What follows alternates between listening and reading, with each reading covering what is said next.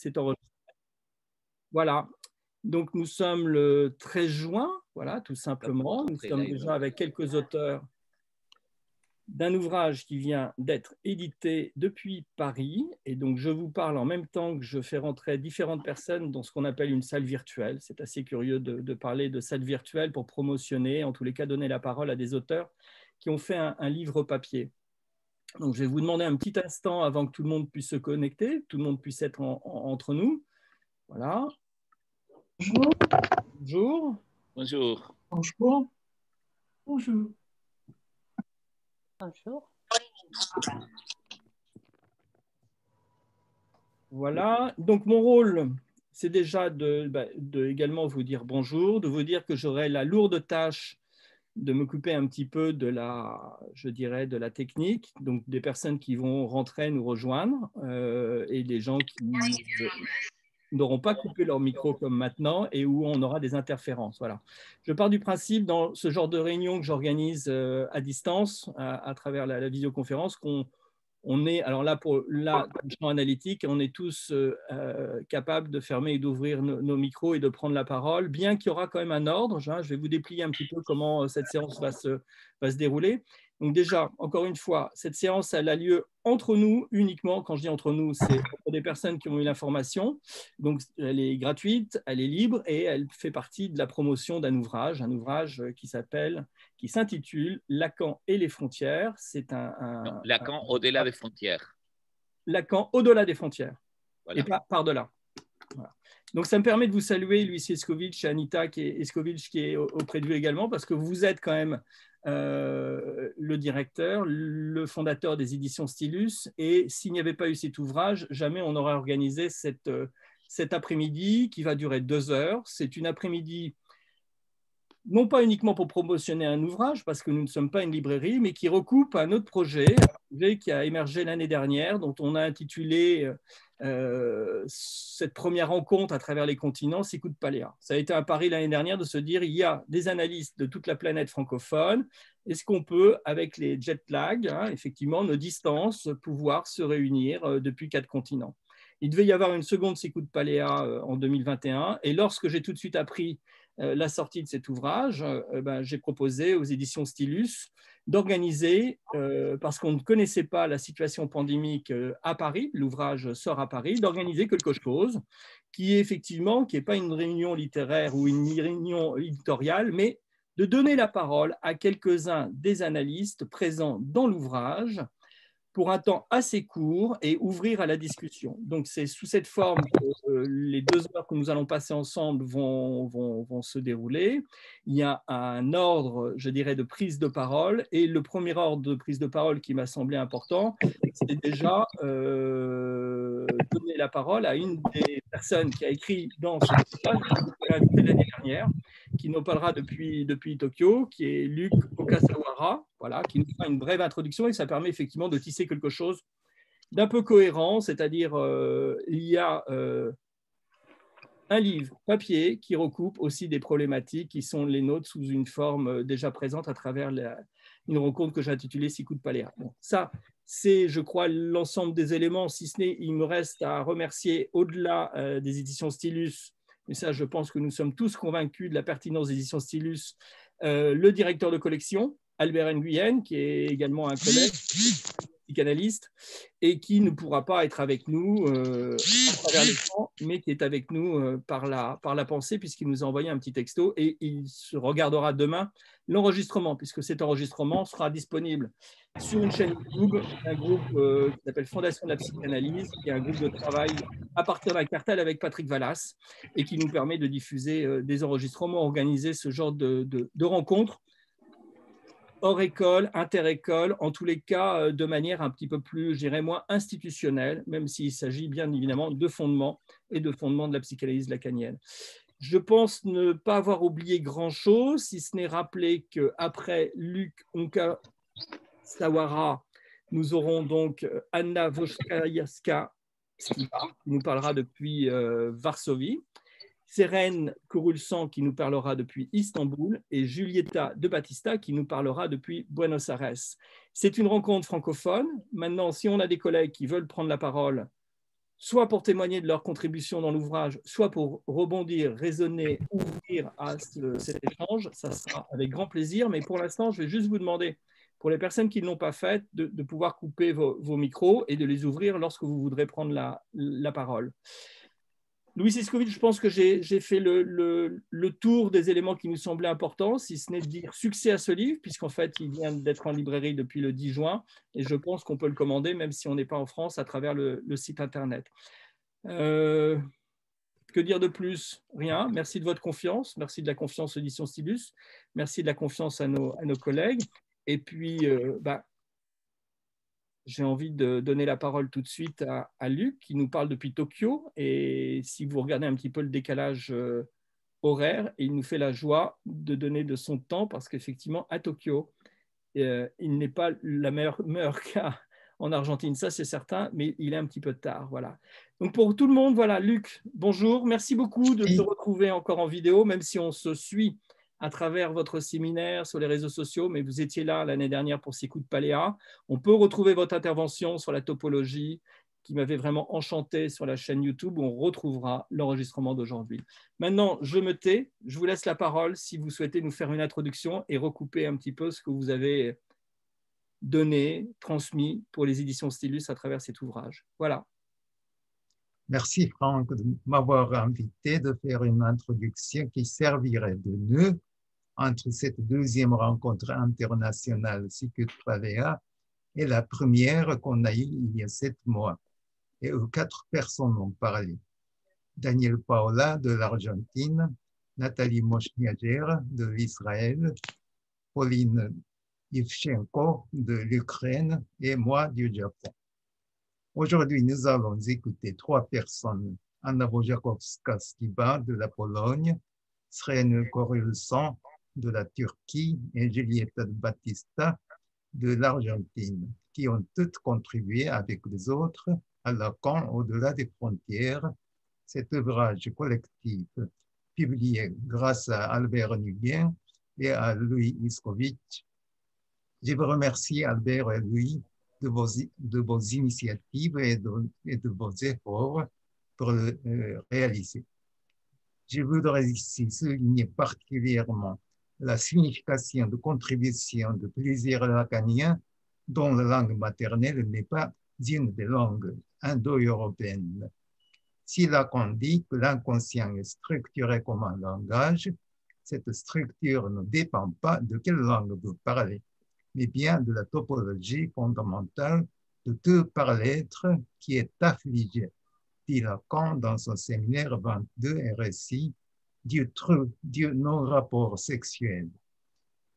Voilà donc je passe la parole à la première intervenante, Anna Bojakowska-Skiba. Merci. Merci Luc. Euh, je vais me présenter de nouveau. Mon nom, c'est Wojakowska Skiba. En polonais, en tout cas, en français, c'est comme vous avez dit. Donc, merci beaucoup à l'édition Stulus pour m'avoir invité à écrire euh, ma contribution dans cet ouvrage international et au-delà des frontières. Merci à Franck d'organiser cette euh, soirée où je veux brièvement, vraiment brièvement, dire ce que j'ai lu dans ce texte, ce que j'ai écrit dans ce texte. Je vais lire quelques mots que j'ai écrits, un petit résumé, car j'imagine que la plupart de vous n'a pas pu lire nos textes, car ce livre, elle, euh, il est apparu euh, le 10 euh, juin, il me semble, donc c'est très récent. D'accord, donc je commence. Dans les textes que j'ai rédigés pour ce livre, je présente deux questions qui sont intimement liées. La première est mon passage de la psychologie à la psychanalyse. L'autre est la question de savoir pourquoi Lacan est absent des départements de psychologie, en, tout cas en Pologne, que ce soit en termes de théorie ou de pratiques cliniques, alors que Freud est présent. Bien que les grandes analyses de Freud ne soit euh, pas non plus euh, abordé. De Freud en Pologne, il reste principalement de ce qui est euh, présenté au département de psychologie, aux, aux, universités privées et publiques. Il reste principalement des mécanismes de défense. Ce n'est donc à proprement parler pas Freud lui-même, mais plutôt sa fille Anna.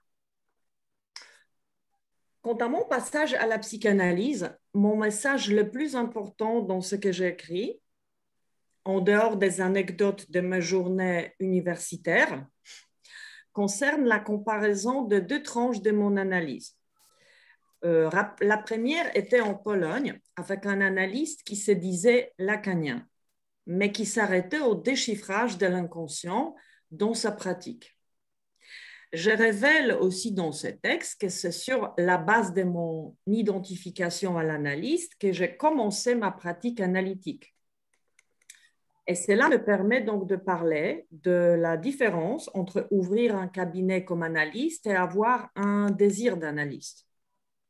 De plus, j'ai dit que ce que Lacan a écrit sur la pratique de l'analyse en IPA euh, a été mon expérience personnelle et est toujours pertinent dans les contextes polonais.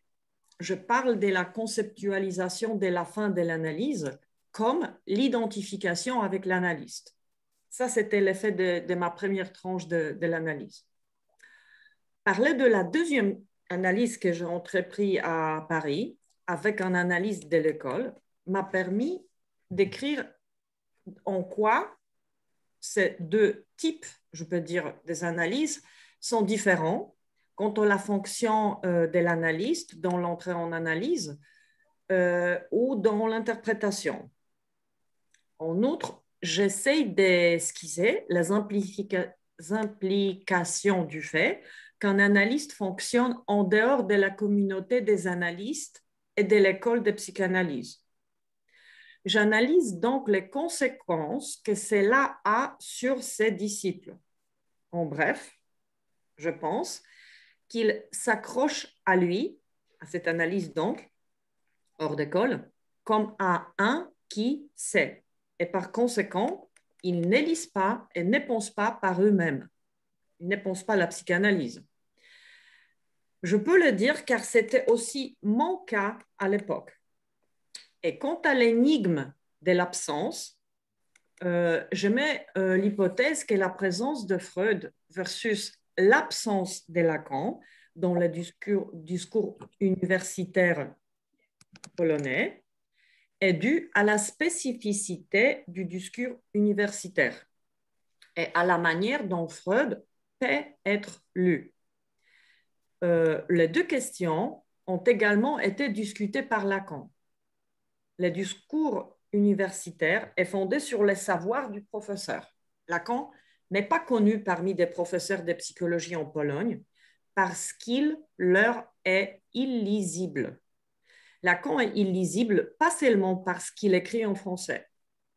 Il est illisible, c'est ce que je pose dans ce texte, parce qu'il a une vision différente du sujet que les psychologues qui parlent de la cohérence du moi et de la bonne communication. Freud est lisible car ce qu'il écrit peut toujours être compris comme la supposition du sujet sans Spaltung, sans la division. C'est-à-dire que Freud peut être lu euh, et les sujets dont il parle comme la supposition du sujet qui est le maître de la connaissance, comme le reflète la psychologie du moi que Lacan a tellement critiqué. Dans mon texte, j'essaye de montrer comment ces deux questions ont convergé pour moi. Une question personnelle, une question sur quelque chose que je ne comprenais pas vraiment en moi-même et que la première analyse ne me permettait pas de saisir, m'a fait chercher la seconde, seconde analyse. Cette deuxième analyse m'a rapprocher de la question du désir comme quelque chose de complètement incompréhensible, qui demande du courage, d'effort et qui n'est pas du tout un dimanche dans la vie, comme l'a dit Lacan dans son séminaire 6 euh, sur le désir et son interprétation. Dans ce texte, je me donne aussi une réponse à la question de savoir si en Pologne, il y a une possibilité d'introduire Lacan dans le département de psychologie et de l'introduire aux jeunes dans le cadre du discours académique. C'est quelque chose dont notre forum euh, de, de Pologne euh, s'occupe depuis des années. Euh, de la réponse et de l'action pour que ça puisse être possible. Et ma réponse dans le texte est que à l'ère actuelle, il n'y en a pas. Il n'y en a pas de possibilité de l'introduire. je donne des arguments et je présente euh, des preuves, si je peux dire, euh, universitaires de l'absence de Lacan. Et que peut-être, encore une fois, à notre manière euh, polonaise, nous devons le faire dans un autre circuit. Vous vous rappelez euh, sûrement un bout de l'histoire de, la Pologne qui est le mouvement de solidarité. Donc, il y a eu une expression euh, qui disait euh, faire circuler les documents, le savoir dans un deuxième circuit. Donc, cet autre circuit, ce soit un circuit hors de la propagande de l'université, propagande de sujets non divisés, et peut-être c'est possible à travers des activités du forum et euh, à travers de l'école de psychanalyse à venir dans notre euh, euh, zone plurilingue dont nous faisons partie comme Pologne. Si vous avez, et je sais que mes collègues Jeren et Julieta, elles ont d'autres expériences qui, qui concernent l'introduction des Lacan à l'université, donc, si vous avez euh, des idées pour moi, j'aimerais bien les entendre. Euh, je compte sur la discussion. Merci beaucoup. Merci beaucoup, Anna. Je, crois qu'on peut même ouvrir ton questionnement à d'autres collègues et aussi rappeler que comme on l'a décidé d'ouvrir publiquement ce, rendez-vous, voilà, euh, on peut aussi avoir des collègues qui sont présents et qui ne sont pas membres des forums, voilà, dans les, gens qui nous suivent. Est-ce qu'il y a des, personnes qui voudraient intervenir tout de suite par rapport à... Est-ce qu'on peut parler de témoignage ou de transmission, Anna? Comment tu, comment tu as reçu cette invitation de la part des éditions Stylus au départ? Ah, c'est une excellente question, car quand j'ai lu les textes de Julieta et de Jeren, donc les deux textes que nous avons fait circuler parmi nous pour pouvoir discuter un peu, je me suis dit, ah tiens, ce sont les textes euh, plutôt, je ne sais pas, je les ai pris comme ça, plutôt, euh, je ne sais pas comment dire, euh, scientifique, je dirais. scientifique, c'est-à-dire les textes qui, un peu aussi sociologiquement, décrivent l'état des choses qui, qui, est dans ces deux pays.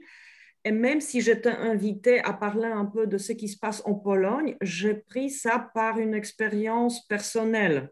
Hmm. Car c'est vrai que c'est à l'université que j'ai entendu parler de la psychanalyse lacanienne, il y a une trentaine d'années, d'accord? Donc c'était très loin. Euh, j'ai entendu parler de Lacan, mais il n'était jamais développé dans le cursus formel et, comment dire, officiel de la psychologie. C'était toujours euh, l'initiative des cercles des étudiants de parler de Lacan euh, je peux dire qu'il est vraiment absent, absent de, hmm, cursus en psychologie clinique et théorique. Il est, absent euh, des livres du genre euh, psychologie clinique ou approche clinique, quoi que ce soit, il est méprisé. Donc, c'est un peu de ça que je voulais parler par une expérience personnelle. Et c'est, en fin de compte, ce n'est pas seulement une expérience personnelle, car comme Forum de Pologne, nous avons essayé de l'introduire à l'université privée. Cette fois, c'est un peu à l'invitation de l'université privée euh, à Varsovie.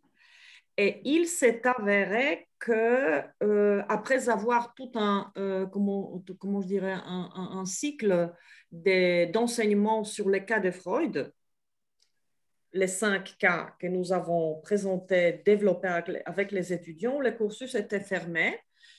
et euh, quelqu'un nous a dit que ça paraît plutôt une secte et pas une branche de psychologie. Ce que, ce que nous disons sur, euh, sur la psychanalyse. Et euh, nous avons fait ça avec des collègues de, de, Forum de Pologne. Donc, ça n'a pas marché. C'est vraiment, vraiment difficile, de mon point de vue, d'introduire Lacan, même s'il y a des enseignants qui euh, sont analystes lacaniens. Ils hmm. sont quand même obligés à tenir, euh, à entrer dans un certain cadre académique, qui fait qu'il faut parler de la psychologie euh, et pas de la psychanalyse lacanienne. Et si c'est Freud, d'après mon expérience, c'est surtout les concepts des mécanismes de défense qui a, qui a resté et qui est utilisé. D'accord?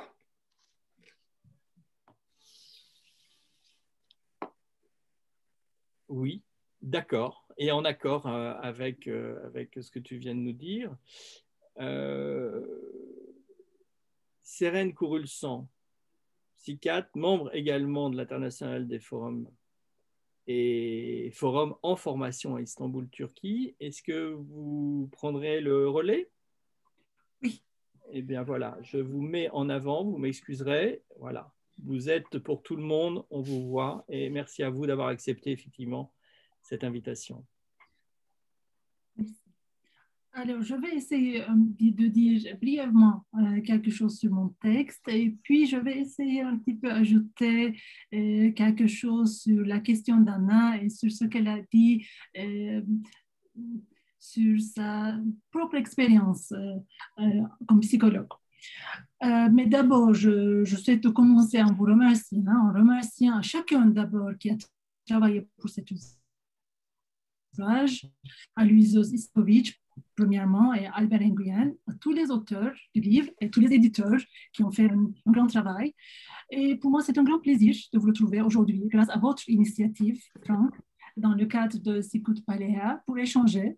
Et je dois aussi remercier Özgür qui est l'auteur de cet article, que aujourd'hui je vais essayer un petit peu de dire quelques mots parce que les arguments que je vais vous citer, ce sont des arguments communs, mais je vais parler, au lieu de dire toujours nous, je vais dire je, enfin, mais retenez un peu à l'esprit que c'était un, un travail collectif commun.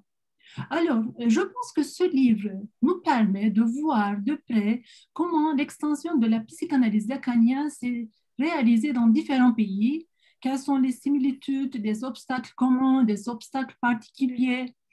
quand j'ai lu le texte de Lieta, euh, j'ai vu qu'il y a beaucoup de choses communes, mais avec une différence euh, de, temps. Les choses qui s'est réalisées euh, chez elle sont un petit peu réalisées chez nous, disons 40 ans plus tard. Mhm. La situation des psychologues, comment ça s'est réalisé pour les lacaniennes. Il y a, il y a des choses très spécifiques euh, que moi, je n'ai pas parlé dans mon texte, mais des similitudes euh, très frappantes. Euh, j'espère que la suite de la situation de la psychanalyse lacanienne se ressemble. Mais je, je, pense que ce livre nous sert aussi de poser des questions, des questions essentielles.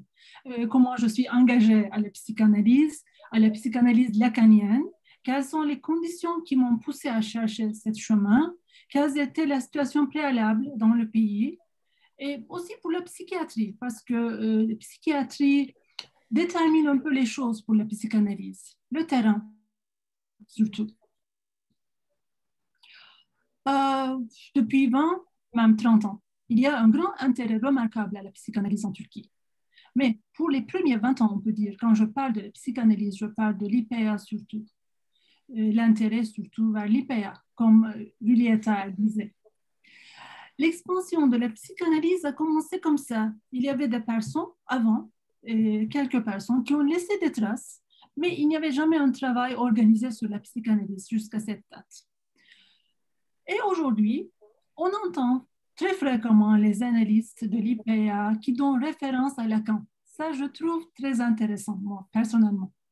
Surtout dans les dernières années surtout après l'enregistrement de notre forum. Maintenant, il y a deux associations de l'IPA en Turquie et tous les deux, les, analystes euh, didacticiens ils appellent comme ça, ils donnent fréquemment référence à Lacan. Ils citent Lacan comme, comme Winnicott. Je pense que c'est une façon un peu d'effacer son différence et de la cibler, c'est mon idée. Mais de notre côté, ils essaient sans arrêt de l'inclure à leur discours. Ce qui est remarquable, un changement remarquable. Et je me demande comment les choses ont arrivé à ce point. Maintenant, euh, l'intérêt à la psychanalyse est devenu un intérêt surtout à Lacan. Très hétérogène, mais quand même ça existe. Comment il faut comprendre ce, changement? Je vais essayer un petit peu résumer brièvement ce qui s'est passé euh, sur ce parcours jusqu'à 2015. 2015 est, la date euh, pour nous est la date de la formation d'un forum en Turquie. Comme Anna, elle a dit euh, dans mon texte, j'ai essayé un petit peu de décrire la situation de la Turquie et un peu les références politiques et sociales et culturelles 1923 euh, est la date de la fondation de la République. C'est une date euh, qui, qui, nous montre une division avec l'histoire. Il y a l'Empire ottoman, puis il y a la, République. Et les choses changent. Les choses changent radicalement. Il y a même, on peut utiliser ce terme, il y a une coupure, une coupure culturelle, linguistique, dans tous les domaines. Et surtout, il y a des changements radicaux après cette date, avec la fondation de la République, l'Académie a été remodelée en termes personnels et de programmes dans de nombreux domaines, de sciences sociales, la philosophie, mais la psychanalyse n'a pas pris sa place parmi eux.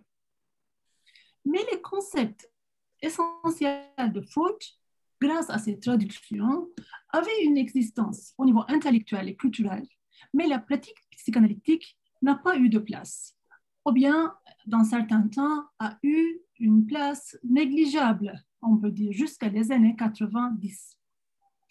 Cette division qui est cruciale pour ce pays entre euh, l'Empire et la République, entre traditionnel et moderne, détermine beaucoup de choses.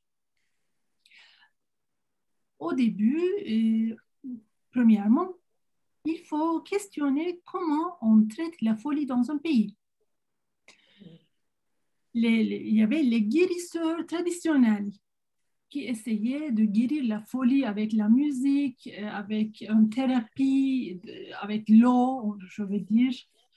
Mais c'était pas mal, c'était mieux que de l'exclusion de la folie, c'était mieux que la violence, mais ce n'est pas un moyen de, donner la place à la parole.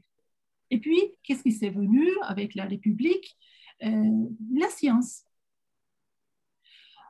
Contrairement à d'autres pays musulmans, euh, la science a eu une place, une place très importante. C'est un point positif d'un côté, mais nous savons que la psychiatrie ne, laisse pas beaucoup de place à la psychanalyse maintenant. Et la psychiatrie ne donne pas beaucoup de place à la parole de la patiente, du, patient. Et en Turquie aussi, la psychiatrie est, tellement éloignée de la psychanalyse comme euh, nombreuses régions du monde en plus, dans la société en Turquie, il existe une ambivalence, comme j'ai dit. À propos de la modernisation, ou bien comme on utilise le terme euh, dans la langue populaire en turc, au niveau de l'occidentalisation. La modernisation est à la fois un phénomène souhaitable et à la fois un phénomène néfaste, censé perturber la structure sociale existante. L'Empire ottoman aussi a voulu d'un part se moderniser, mais la modernisation ne s'est réalisée que dans le domaine militaire. Alors, dans cette situation, il y a une question qui se pose tout le temps en Turquie. Je vais faire la traduction de cette phrase qui est très typique. Pourquoi nous avons tardé? On commence toujours comme ça. Il y a plusieurs questions qui continuent dans différents domaines, mais ça commence toujours comme ça. Pourquoi nous avons tardé? On, ressent beaucoup ce sentiment. On est en retard. Pourquoi nous avons tardé? Et cette euh, question typique a une réponse très typique et automatique. Euh, c'est à cause de l'islam. Mais on a aussi une position ambivalente à cette réponse. Mais on ne peut pas réduire la, réponse à l'islam. Je ne pense pas. Parce qu'il y a, au niveau de la psychanalyse, je parle, euh, il y a de nombreux pays modernes, européens, géographiquement beaucoup plus, près euh, au lieu de naissance de la psychanalyse que la Turquie, et la psychanalyse ne se présente pas. Je pense que la réponse est plutôt liée à la science. Parce que la science, la position de la science est essentielle pour la Turquie. Et le discours scientifique. Parce que la psychanalyse a toujours existé dans un monde dominé par le discours scientifique. Et son sujet est devenu un sujet qui a repéré la réalité scientifique comme référence. Mais la science ne laisse pas de place pour la parole, ni pour les questions, ne permet pas que le sujet parle. C'est quelque chose qui ressemble à la religion. La religion donne les réponses automatiquement, euh, à toutes les réponses nécessaires. Si le discours scientifique est le seul type de discours valable, ce qui est un peu le cas en Turquie, alors, euh, comme la religion, on n'a pas de place nécessaire à la parole pour le sujet on peut peut-être dire que pour que la psychanalyse puisse exister, euh, ni euh, le discours scientifique, ni le discours religieux euh, doivent remporter une victoire finale. Alors, si je continue avec la liberté de parole, malheureusement, en Turquie n'est pas dans une bonne situation. pendant que je travaillais pour écrire cet article, en mars, malheureusement, la Turquie comptait le plus grand nombre de journalistes en prison. Quand même, peut-être il faut prendre euh, la situation en Turquie, la demande de l'analyse euh, symptomatique, parce qu'il y a un intérêt pour la psychanalyse au niveau des psychiatres, au niveau des psychologues et pour les patients. Les patients commencent à chercher les psychanalystes, les psychothérapies psychanalytiques peut-être on peut comprendre ça un peu au niveau d'un symptôme, au niveau d'une demande de parole, d'une liberté de parole. Alors, si je reviens à la question de sur pourquoi nous avons tardé, c'est à cause de l'islam ou pas, euh, il faut, on peut peut-être euh, faire une comparaison avec d'autres pays musulmans après le mouvement de modernisation et de sécularisation, l'importance euh, de la pratique euh, de, la religion a décliné. Mais peut-être on ne peut pas dire que euh, la religion n'a aucun, n'a aucune trace dans la société. Il, y a quand même une importance, une trace, mais c'est plutôt au niveau culturel ça se présente plutôt dans d'autres questions, comme euh, la virginité. Mhm. Parce que euh, les analysants, les, femmes, euh, elles doivent prendre une position face à cette question, toujours. C'est pour ça, hum, au niveau culturel, la religion impose certaines questions au sujet.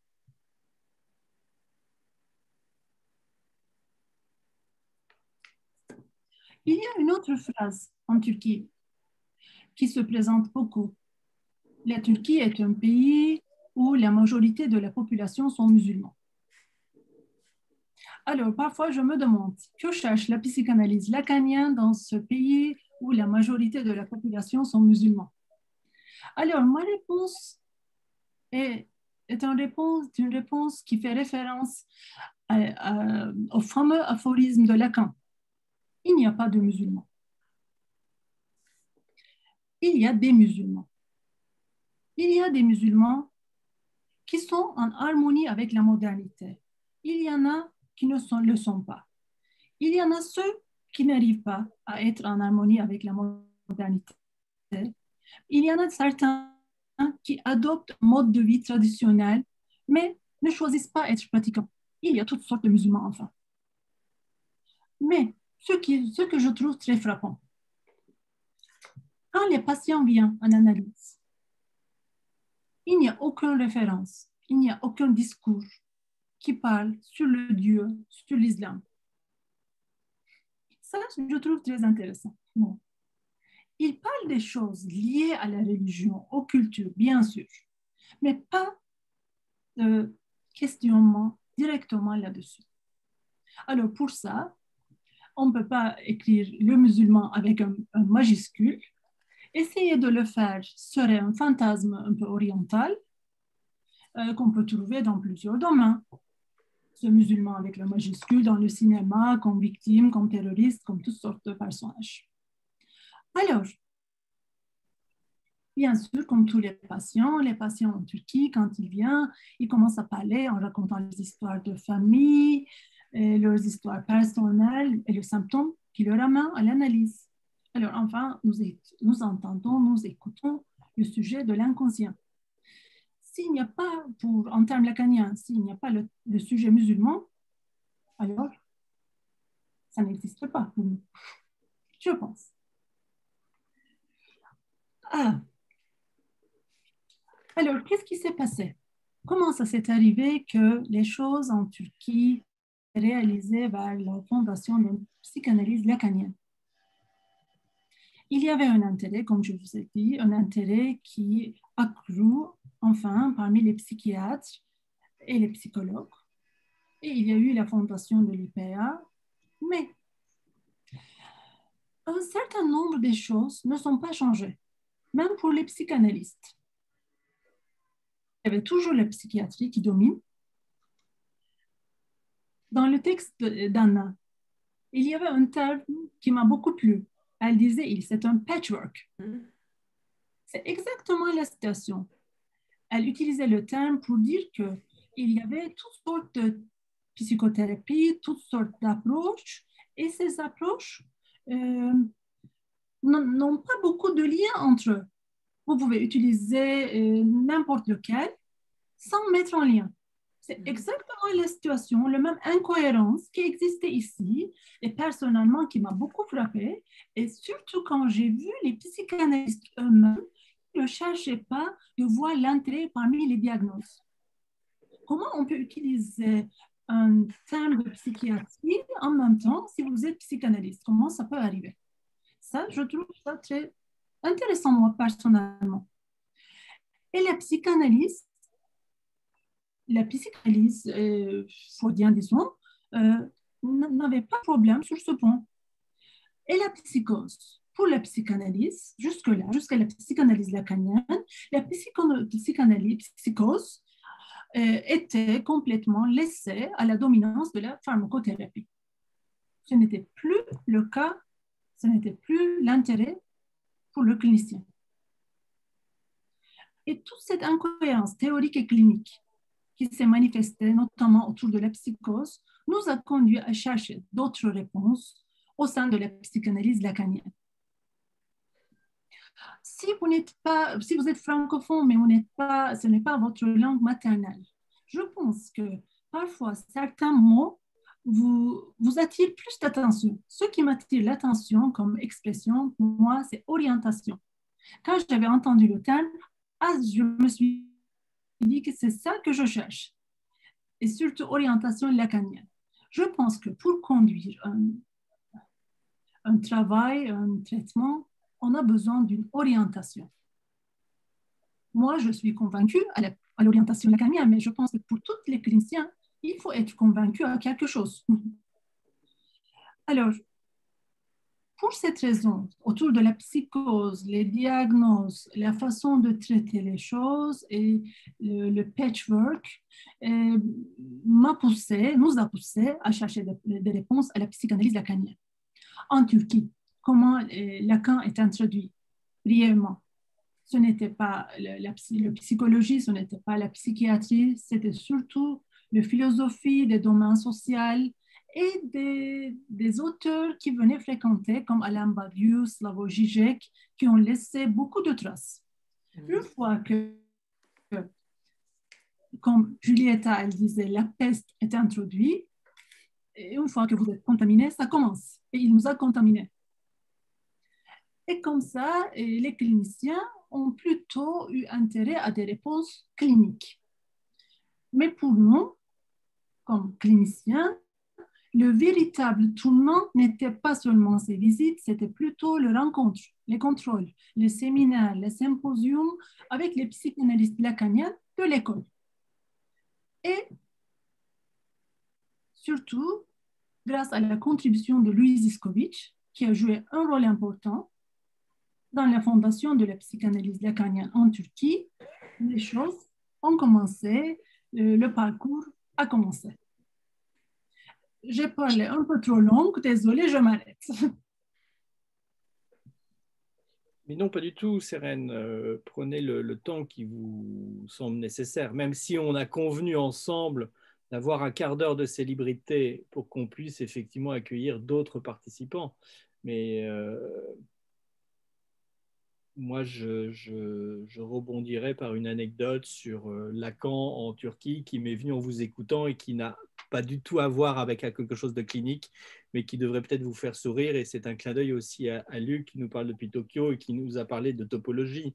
Qui est, bon, euh, Lacan a été exposé à la Biennale d'art contemporain d'Istanbul de, il y a quelques années. Voilà, un des dessins sur la, topologie. Oui, oui j'ai vu. Vous, aviez vu? Ah, pas parfait. Vous voyez, je pensais, bon, voilà, comme quoi. Mais ça permet aussi de se dire que la manière où Lacan est diffusé passe par des canaux qui sont aussi totalement euh, méconnus ou pas ceux que l'on pourrait croire. Voilà. Donc ça, c'était une manière pour vous remercier et puis de donner la parole à, à d'autres personnes si si Luc, Anna qui ont déjà pris la parole, ou même Louis Siskovic, vous voulez intervenir, ou Julieta qui va la prendre après. Mais alors, sans aucun souci, Anna, vous pouvez prendre la parole en ouvrant et fermant votre micro, et moi je vous remets en avant pour que tout le monde puisse nous voir, même si l'enregistrement se fait directement vis-à-vis de vous. Merci Franck. Donc, euh, je garde une question qui est à Jeren et à Julieta. Donc, j'attends la parole de Julieta pour poser cette question. Mais à toi, Jeren, j'ai une question euh, qui concerne la question de virginité. Car il me semble, et j'ai lu ton texte, et maintenant tu l'as répété, que tu mets un appui sur cette chose-là comme une particularité turc. Euh, euh, si tu peux développer en quelques mots pour que je puisse voir si ce n'est pas la même particularité qu'en Pologne. Donc, si tu peux développer, de quoi s'agit-il euh, avec cette, dans ton texte, tu disais, il me semble, tabou de virginité, voilà, quel rapport avec être une vraie femme, etc. Et en quoi ça, ça ressort en analyse, si tu peux nous, nous dire quelques mots. Je ne sais pas, pour moi, ça, me paraît intéressant. Oui, peut-être. Euh, je, pense qu'on peut dire plusieurs choses, mais euh, c'est une population, la Turquie, est une population très hétérogène. Il y a des milieux sociaux qu'on ne peut pas discuter le tabou de virginité. Il faut être virgine et les relations sexuelles commencent après le mariage. Il n'y a pas de discussion là-dessus c'est très clair, c'est très rigide. Euh, ces classes sociales, malheureusement, il n'y a pas à discuter. Si euh, l'opposite se réalise, si une femme n'est pas virgine au mariage, ça peut se terminer euh, avec une malheureuse fin, malheureux fin. Mais c'est un, un cadre très limité pour la majorité. Ça dépend. Généralement, on peut dire que les femmes sont libres. Ils sont libres dans plusieurs domaines. Mais il y a quand même quelque, quelque chose de très conservatrice, très infiltré.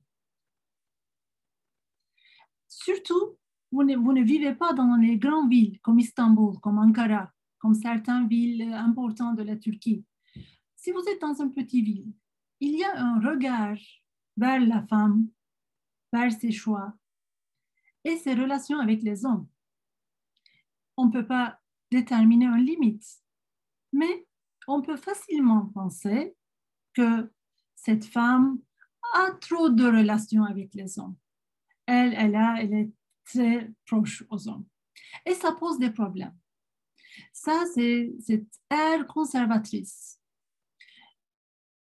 est très difficile à, à se débarrasser.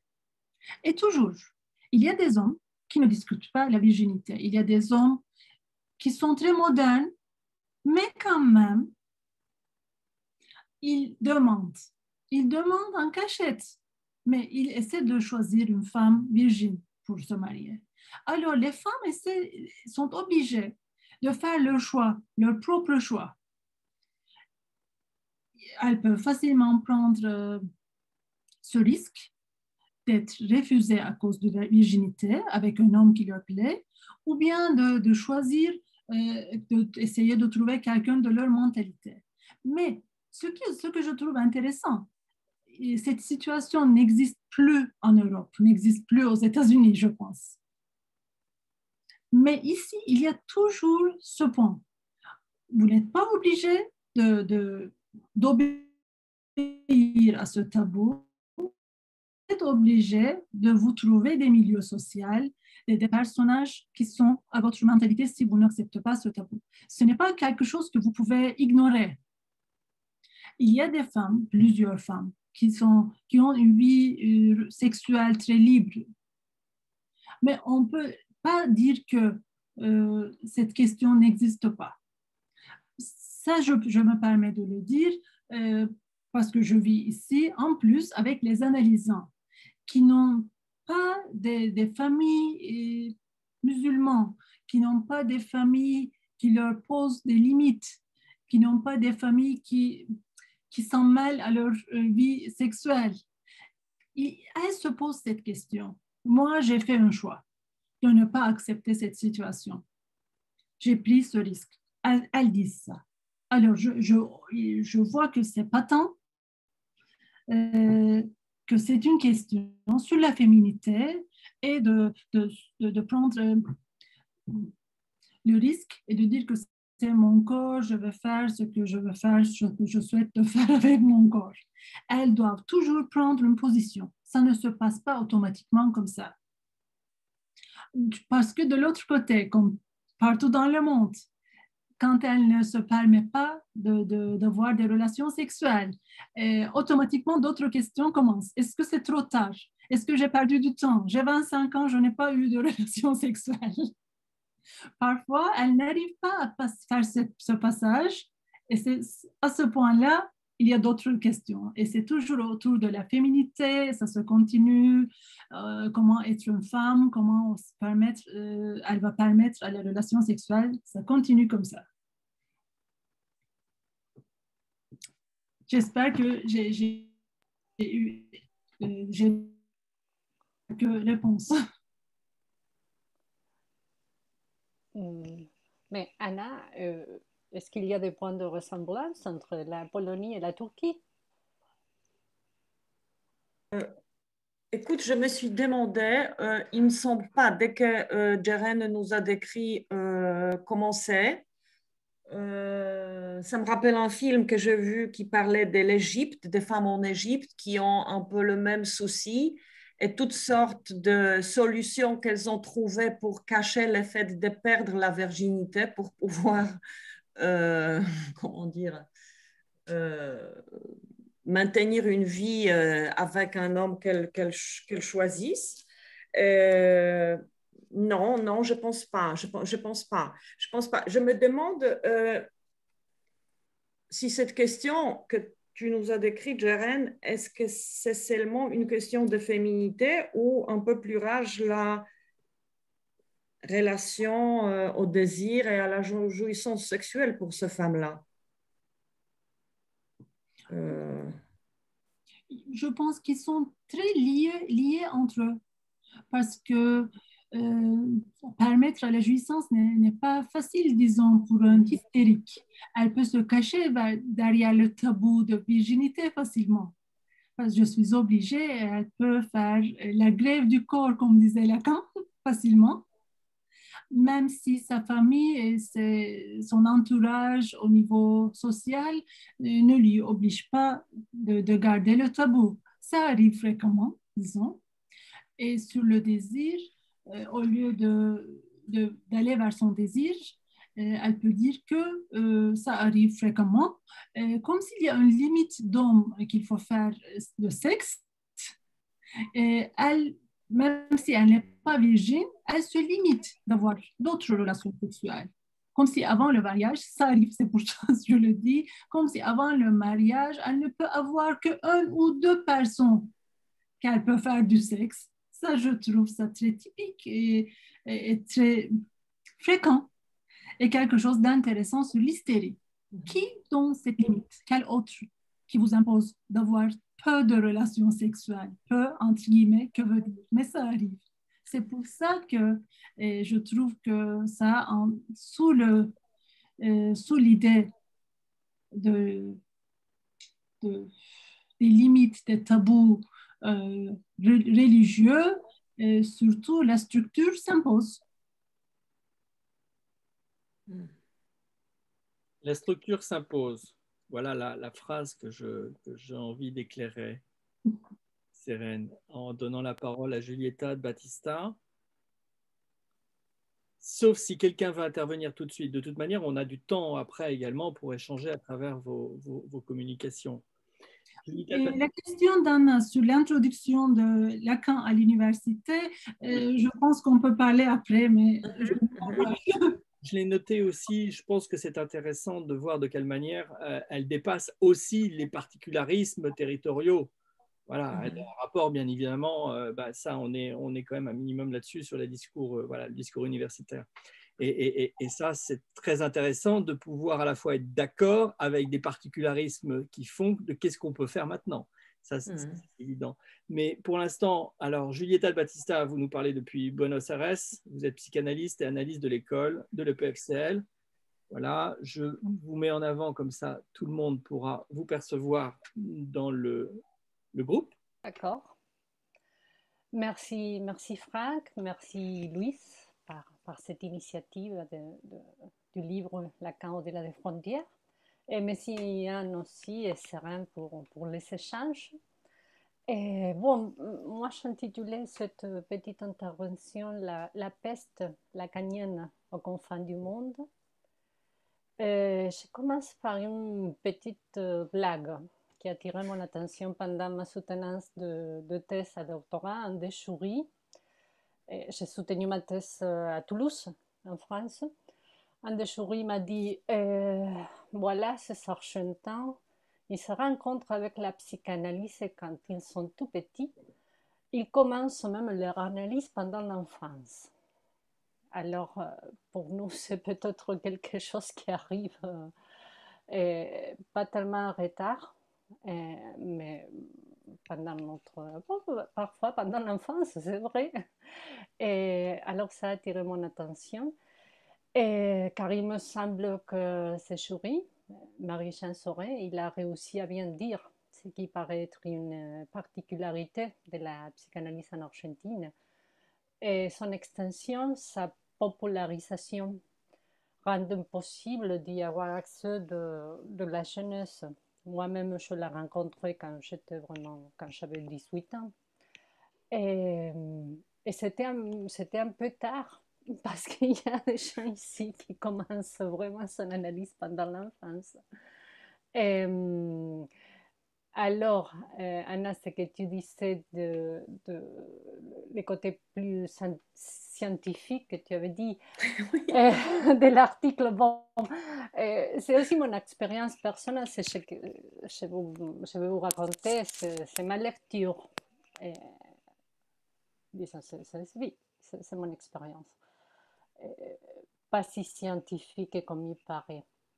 Et, bon, ici, en, en, Argentine, la psychanalyse n'est plus considérée comme une pratique bourgeoise, même non plus élitiste. Elle a trouvé son nid de sa vitalité, je pense, à l'université et à l'hôpital. Ces deux places. l'université et l'hôpital ont joué un rôle crucial dans la réception des idées de Lacan et lui donnant notamment un emploi clinique. Ça, c'est une particularité ici en Mhm. Argentine. Et, hum, je pense que la situation de la psychanalyse lacanienne à, à Buenos Aires est en quelque sorte inédite et du fait de son expansion dans les universités, surtout dans les facultés de psychologie, pas de philosophie. Et aussi dans le réseau de, des hôpitaux publics, à côté du psychiatre. Ça a changé beaucoup ici en Argentine euh, dans les dernières années. C'est-à-dire, c'est un phénomène culturel, euh, mais pas seulement, c'est un phénomène clinique aussi. Et bon, j'avance côté culturel. Euh, pour donner un peu l'état des situations. À Buenos Aires, on peut trouver un bar qui s'appelle Je suis Lacan. Mhm. Et on voit l'enseigne publicitaire et le nez borromien. C'est quelqu'un qui, qui est venu de France. Et voilà, il y a un bar qui s'appelle Je suis Lacan et il partage tout le temps des phrases de Lacan sur Instagram. Ici, c'est normal.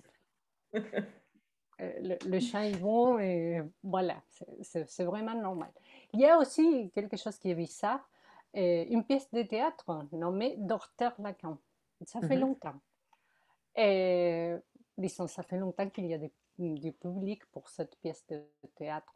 Et aussi maintenant, il y a une exposition d'art appelée Thérapie, euh, qui un peu recueille l'histoire de, de, de psychothérapie à Buenos Aires. Disons, la psychanalyse est quelque chose qui fait partie de notre actualité culturelle et sociale. Et alors, je pense que Buenos Aires est euh, un cas rare et à succès, on, va voir, d'extension de la psychanalyse, notamment de la psychanalyse lacanienne. Et c'est vrai que l'Argentine est un pays vraiment, euh, comment on dit, large, long, d'un territoire très, très répandu. Alors, ce phénomène d'expansion est concentré sur les grandes villes et les villes où il y a des facultés aussi de, psychologie, c'est-à-dire Buenos Aires, Córdoba, Rosario, Mar del Plata, La Plata. Mais disons qu'il y a des psychologues formés en psychanalyse lacanienne partout après. Ils se forment dans les grandes villes et ils repartent après chez, chez eux, dans, dans le sud du pays. Et, euh, ils emportent avec eux la peste. Alors on trouve un peu partout dans le territoire argentin des analystes qui disent s'orienter par la psychanalyse lacanienne et qui travaillent aussi bien dans les cabines privées que dans les institutions publiques de santé mentale. Il y a quelque chose qui est aussi répandu, c'est Vox Populi, et une certaine spécificité du psychanalyste lacanien qui au silence, aux séances courtes et aux équivoques. C'est déjà accepté ici aussi, il me semble, c'est ma lecture. Alors, euh, quand Louis m'a invité à participer de, de ce livre, je, me suis dit, mais comment une telle extension a-t-elle pu se, se, produire ici? Quelles sont les raisons pour lesquelles la peste a été la bienvenue chez nous? Bon, c'est une question complexe, mais je pense qu'il y a eu des conditions de réception et, d'implantation vraiment euh, nouvelles à, Buenos Aires. Et je fais un peu d'histoire pour, pour mieux transmettre ceci. Au moment de la communication de Lacan, de la de l'IPA, en 1973, euh, 1963, pas 13, et de la fondation de l'école freudienne de Paris, 1964, ici en Argentine, il y a eu un vrai boom lié à l'extension de la psychanalyse. Mais côté, pas pour les côtés d'Anna Freud, pas pour les côtés américains, plutôt pour les côtés anglais. Melanie Klein, Winnicott, c'est surtout par ces voies-là qu'il y a eu un développement de la psychanalyse dans les années 60 en Argentine. Et, ça aussi a, a, une coïncidence entre cette extension et la formation psychanalytique qui gagnait du terrain à l'université. Et après de l'université dans les services de psychopathologie naissante. Et alors, je pense que ce qui fait la différence, c'est qu'il s'agissait d'une formation enracinée fondamentalement dans une pratique clinique et irriguée aussi par les problèmes propres de la praxis. En plus, il y a eu à ce moment une nouvelle génération nombreuse de, psychologues, et la plupart d'entre eux des femmes, et formés en psychologie qui commencent à intégrer le, les services publics de santé mentale. Enquête justement d'un perfectionnement clinique qui puisse lui, assurer une insertion professionnelle au-delà du milieu éducatif ou de l'application des tests euh, psychotechniques. Vraiment, ici, la psychologie qu'on apprend à la fac n'est pas liée aux tests, ni à l'éducatif, c'est euh, plutôt clinique. Cela s'impose. On étude aussi les tests et tout ça, mais, il y a vraiment peu de gens qui, qui travaillent sur ce domaine. Et, alors, quand même, ma formation était comme ça. Maintenant, il y a aussi toute, toute une orientation plutôt communautaire. Mais bon, quand j'ai suivi la formation en psycho, c'était plutôt une formation clinique. Il y avait à l'époque, en 1960, une restriction d'accès à la formation psychanalytique officielle garantie par, par la filiale locale de l'EIPA, l'Association psychanalytique argentine. Ils ont restreint la formation aux médecins et les psychologues ne pouvaient pas rentrer. Alors, de ces faits d'exclusion de, de, femmes psychologues, il y a eu tout un réseau de groupes d'études qui s'est constitué d'une façon, on peut dire, marginale, parallèle à l'enseignement officiel. Et ce réseau était autour des universités. Et une certaine invasion, on peut dire, de la psychanalyse à l'université s'est produite à ce moment-là. Et, mais j'insiste, c'était sur le cursus de psychologie. Ça continue. Moi-même, j'enseigne maintenant la psychopathologie et je n'enseigne pas le, les manuels américains. J'enseigne les cas freudiens, on lit Freud, on lit Lacan. Et, et on le fait quand, bon, les élèves, on, les étudiants, je ne sais pas, à 20 ans. Alors, ils commencent par là, l'oral, le Schreiber, euh, c'est ça qu'on travaille euh, dans la formation à l'université. Et hum, alors, je pense qu'il y a eu certainement euh, un mouvement de popularisation d'accès à la psychanalyse dans les institutions publiques et aussi il y a eu un procès de démédicalisation de la psychanalyse. Alors la psychanalyse est sortie du, terrain médical de, la psychiatrie aussi. Mais mais c'est bizarre parce que l'entrée c'était par la psychologie, par l'université, par la psychologie disons, quelqu'un rencontre la psychanalyse à l'université et peut-être par ce biais, après, commence une analyse personnelle. C'est un peu le, le chemin. Bon, alors, ça fait que être un analyste maintenant ici, dans les grandes villes, c'est pas c'est pas quelque chose lié à une maladie mentale ou quelque chose comme ça, sinon une sorte de bon, de bon signe de, de progrès subjectif de quelqu'un qui veut mieux vivre. Alors, c'est accepter l'adoration des analyses, même en institution publique, c'est quelque chose qu'on accepte, qu'un traitement n'est pas quelque chose de trois mois, ni six mois. Alors, on accepte aussi dans les institutions publiques d'avoir euh, des traitements longs. Et bon, je vais laisser un peu sur ce point les choses. C'est une autre question que je me pose, si l'expansion de la psychanalyse ici peut être lieu comme un succès de diffusion, ou disons, c'est un fait qu'en Argentine, le langage clinique psy est coloré par la psychanalyse lacanienne. Même les psychiatres connaissent la conclusion du nom du père.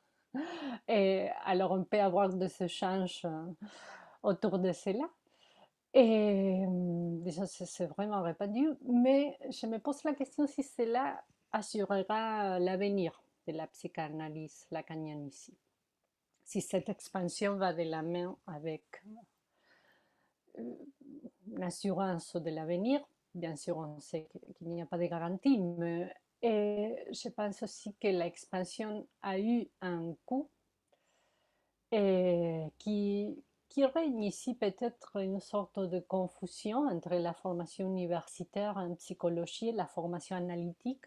Disons, les psychologues croient parfois qu'ils sont des psychanalystes et, et ça, c'est un glissement qu'il faut, dans, mon opinion, à mon avis, il faut, il faut changer.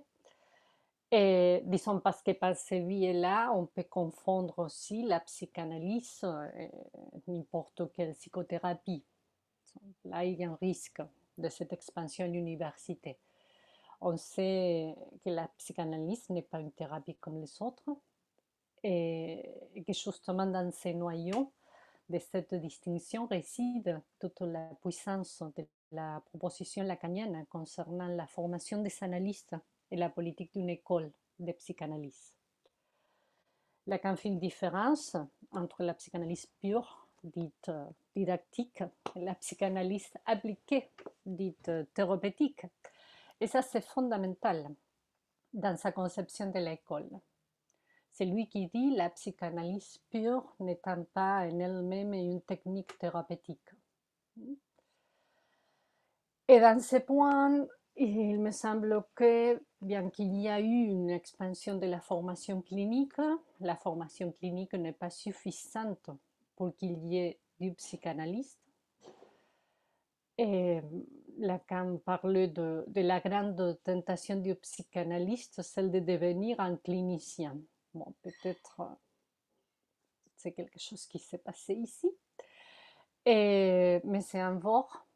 Et dans ce vor, il me semble que se joue les chances pour que l'expansion de la psychanalyse se produise.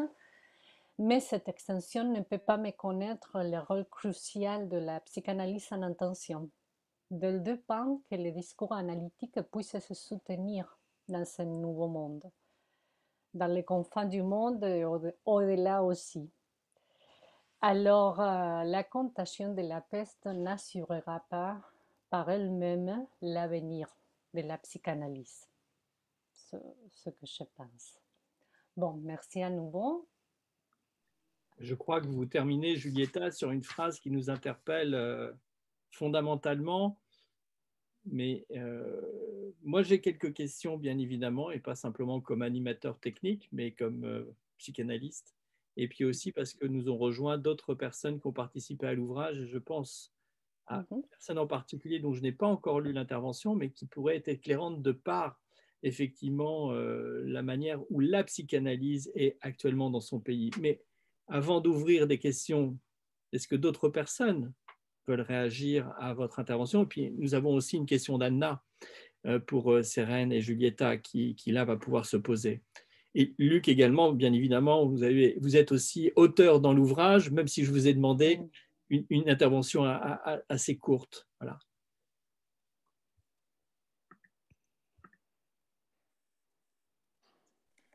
Donc, je, je, vais vous poser ma question. Merci Julieta, merci Jérène.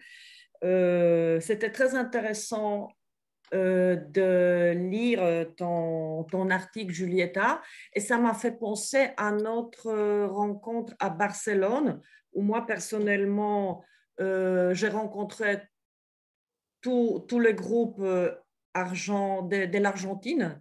Et oui, j'ai eu l'impression que vous travaillez tous à l'université. Donc, en fin de compte, ma question, c'est une réponse.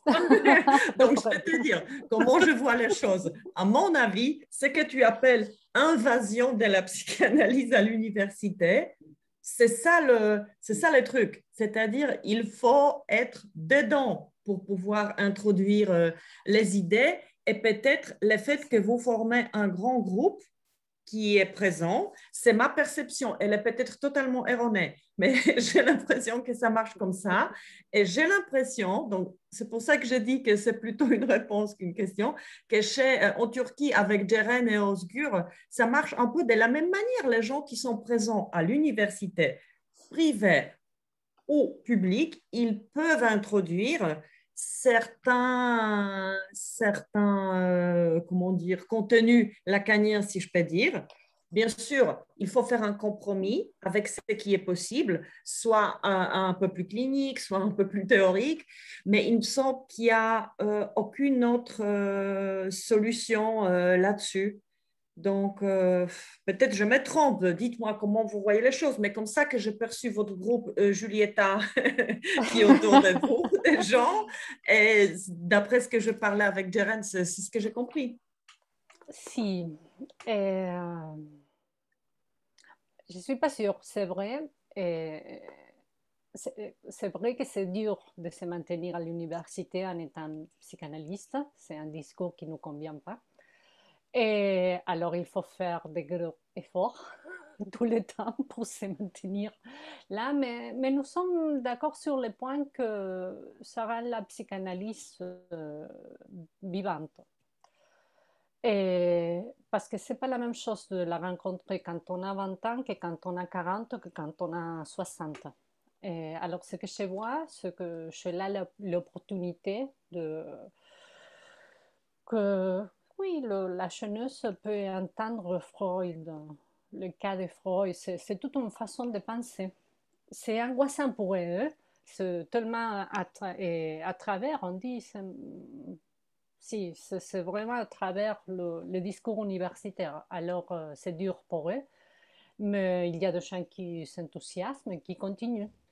Et, ça fait une différence. Après, il y a aussi le, problème de, de rentrer par ces biais-là et les, les de l'université. Et c'est trop dur pour nous de, se maintenir à l'université.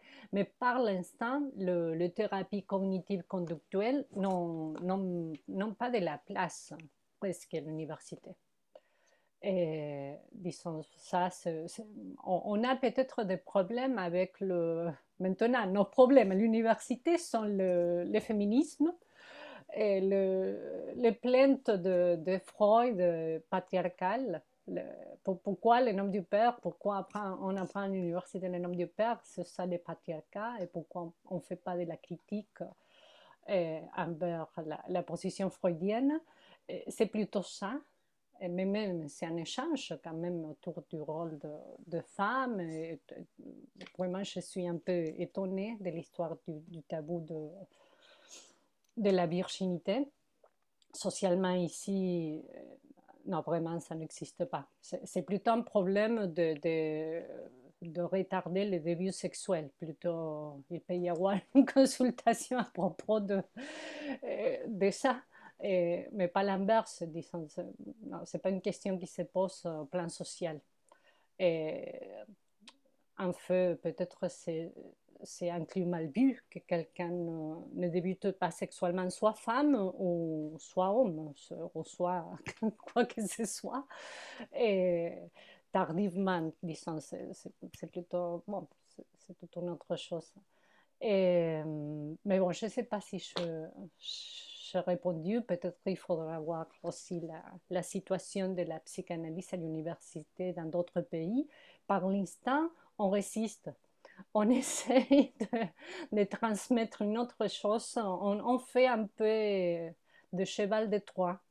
Et on, joue un peu cela. On, essaie de, de, parler d'autre chose, étant donné que nous sommes analystes. Notre transmission est différente, même si nous sommes à l'université. Je, vais faire une question qui est une remarque un petit peu comme Anna, parce qu'on a d'autres questions. Mais je tenais à, à, évoquer quelque chose.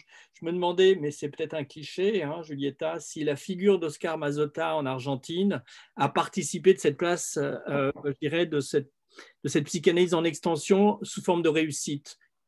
Euh, disons, euh, oui, ça c'est l'histoire officielle.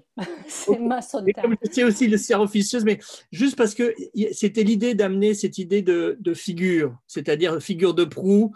Euh, Sérène, nous a parlé de navigation et d'orientation. La psychanalyse lacanienne, elle repose aussi parce qu'il y a eu Lacan. Voilà, donc c'est aussi des, questions d'école sur de quelle manière euh, les, choses sont, sont, sont, transmises ou de quelle manière elles sont enseignées. Voilà, mais c'était une remarque, pas une question, parce qu'on a, on a d'autres intervenants qui posent des vraies questions et moi, je joue juste mon rôle, je dirais, de, technicien. Vous avez bien compris que moi, ça m'intrigue beaucoup et, ce que l'on fait là en deux heures, on peut aussi le poursuivre de d'autres manières. Mais c'est vrai que vous avez une particularité en Argentine, au-delà de ça, par rapport à Mazota, qui n'est pas du tout anecdotique, bien évidemment. Non, mais il y a, il y a Patricia Gerovici, je ne sais pas si on prononce comme ça votre nom, Patricia, vous m'excuserez. Vous avez la possibilité d'ouvrir votre micro de vous-même et je vous mets en avant parce que vous avez une question. Voilà, une remarque. Et je vous ai, je vous ai tout de suite aperçu, ne vous inquiétez pas. J'essaye aussi voilà, de, de, faire en sorte que ce soit, que ce soit fluide pour l'ensemble de nos, nos, intervenants. Merci. Vous m'écoutez bien? Merci. Bien, j'ai une question pour, pour les trois. Et je commence avec Juliette, qui elle a remarqué quelque chose qui m'étonnait euh, beaucoup de l'Argentine. Je suis originaire de l'Argentine, mais je pratique aux États-Unis. J'habite à Philadelphie. C'est un contexte très différent, très particulier, mais j'ai trouvé quelques points communs dans votre très proposition que ça m'intéresse. Et, et Juliette a remarqué qu'à l'Argentine, euh, la plupart des, des cliniciens sont des psychologues et dire psychologue à l'Argentine, ça veut dire psychanalyste et ça veut dire lacanien. Il y a plus de lacaniens à Buenos Aires qu'à Paris, par exemple. Et, c'est un discours des femmes.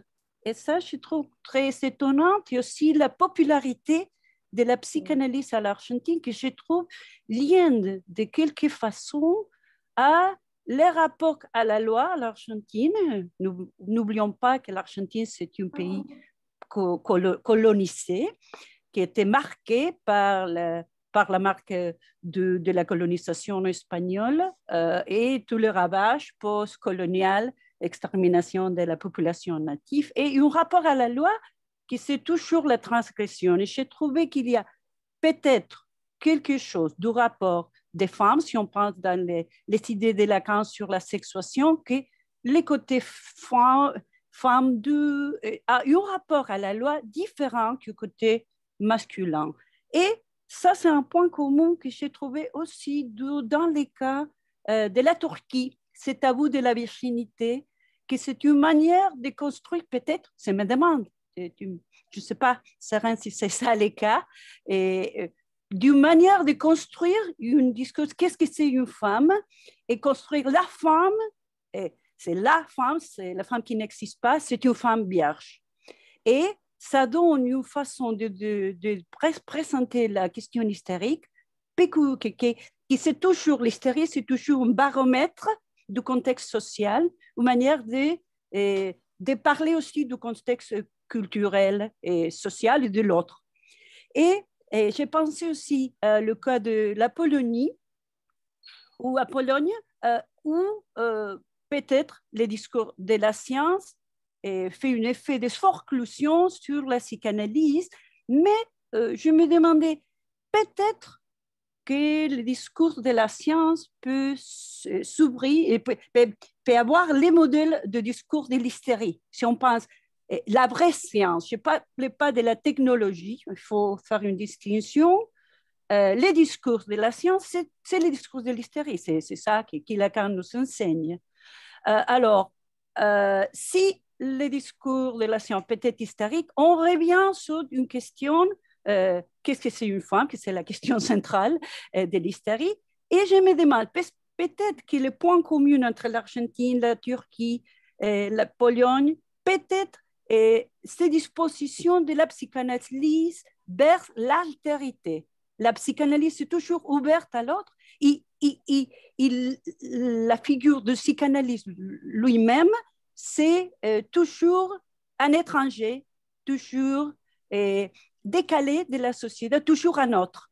Peut-être que là, on, peut euh, toujours, j'imagine, toujours s'il y aura des problèmes avec l'altérité dans les sociétés, il aura toujours la psychanalyse, même à Buenos Aires ou peut-être en Turquie et même aux États-Unis. Merci. Je tiens juste à rappeler, Patricia, que vous êtes aussi auteur dans cet ouvrage Lacan au-delà des frontières. Voilà, c'est juste oui, oui. parce que c'est important.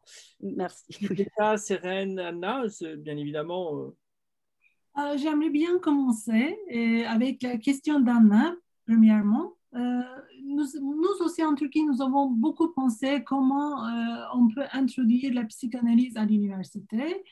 Et avec cette question, euh, quand je parle avec les collègues, les collègues surtout cognitivo-comportementalistes, parce que ce sont eux qui sont la majorité, mais il y en il y en a certains qui sont radicales, il y en a d'autres qui sont très euh, souples et ouverts d'autres choses. Avec euh, certains, euh, on peut échanger au, niveau, au niveau de psychologie.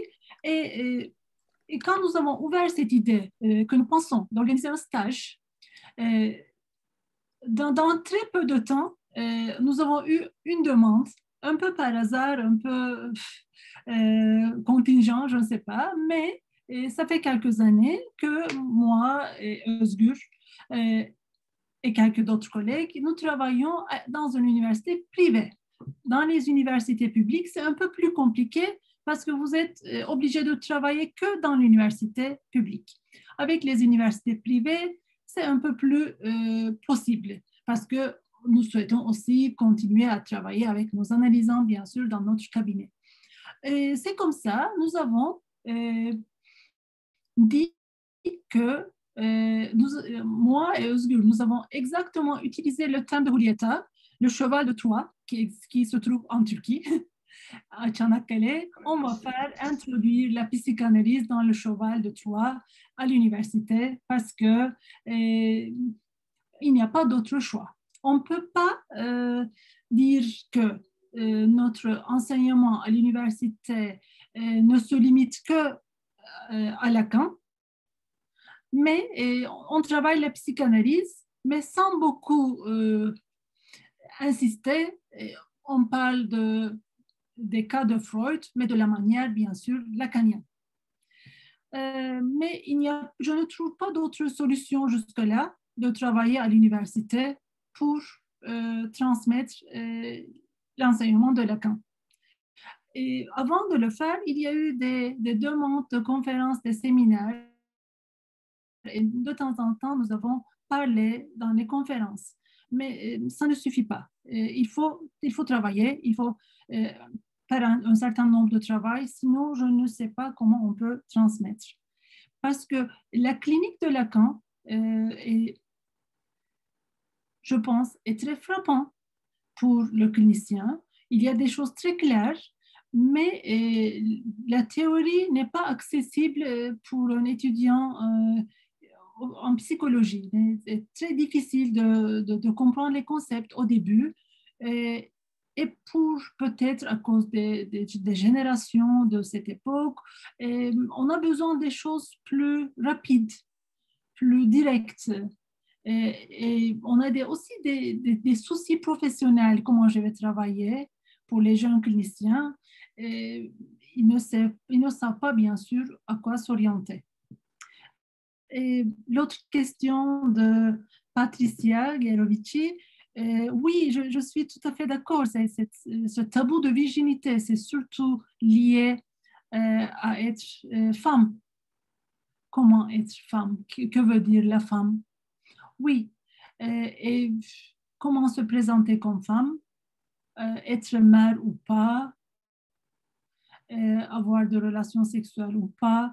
Oui, c'est comme un baromètre, exactement. Et ça se présente sous cette forme, ici. Et c'est quelque chose de plus typique pour la Turquie, je pense, euh, parce que c'est un pays, comme j'ai essayé d'évoquer, et qui est toujours dans une division, dans une ambivalence entre la modernité et les, anciennes traditions. C'est pour ça que ça se présente de cette façon et ça ne se voit pas comme ça dans d'autres pays. Franck, je peux dire un mot?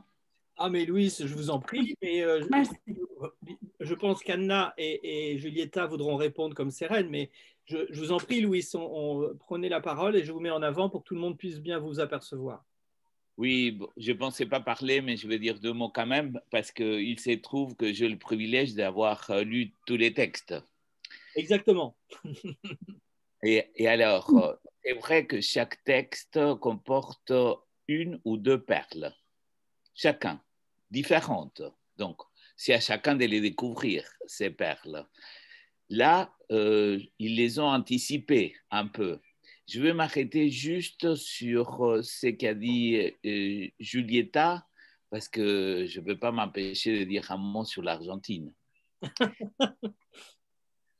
je trouve qu'il y a ce que tout le monde sait et répète tout le temps qui pourrait se résumer comme ça à la formule les Argentins, ce sont des analysants nés. C'est une, c'est une idée qui circule, c'est ce que nous rappelle Julieta avec l'idée les, les analyses commencent dès l'enfance en Argentine, ce qui, ce qui est en partie, en grande partie vrai, pas complètement non plus, mais surtout c'est que Julieta, elle dit quelque chose qu'on ne dit pas souvent et que c'est très intéressant à retenir. Et c'est ça, à mon avis, la perle de son texte, c'est que l'expansion n'assure pas du tout l'avenir de la psychanalyse. Et que l'expansion de la théorie, la fascination, finalement, c'est un peu comme dans une analyse qui commence, qu'on peut être fasciné par le début de l'expérience, beaucoup plus compliqué d'aller jusqu'au bout. Et donc là, elle soulève une problématique, une question qui est fondamentale et qu'on ne parle pas souvent. Bon, bien sûr, elle se garde de donner des réponses. Les réponses, elles se construisent. Mais le fait de l'avoir évoqué, ça me paraît précieux. Merci beaucoup, Louise. Est-ce que Anna ou Sérène veulent, parce que je sais qu'il y a Virgile, et donc peut-être que Virgile voudrait intervenir. C'est peut-être le bon moment de vous donner la parole, Virgile, parce que vous attendez depuis, depuis quelque temps. Merci beaucoup. Euh, je suis très content parce que lui, m'a fait une bonne introduction. C'était la même idée. Euh, je donne beaucoup de cours de psychanalyse. Je suis universitaire, professeur à Cluj. Je donne trois cours d'introduction à la psychanalyse, corps et langage, ainsi de suite, à mon université. Vous nous parlez depuis la Roumanie, Virginie? Oui, oui, je suis roumain, ouais. Je connais Cluj, mais c'est juste pour préciser aussi pour les gens qui nous regarderont après. Vous parlez depuis la Roumanie, très bien. Oui. Merci. Euh, je donne aussi des cours d'introduction à la psychanalyse de clinique psychanalytique euh, à Timișoara, c'est une autre grande ville de Roumanie.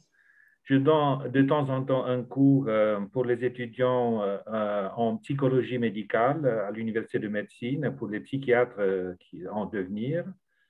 bon, je, donne des conférences au congrès nationaux de psychiatrie et je fais même un cours dans un mois d'introduction à la psychanalyse pour 800 psychiatres.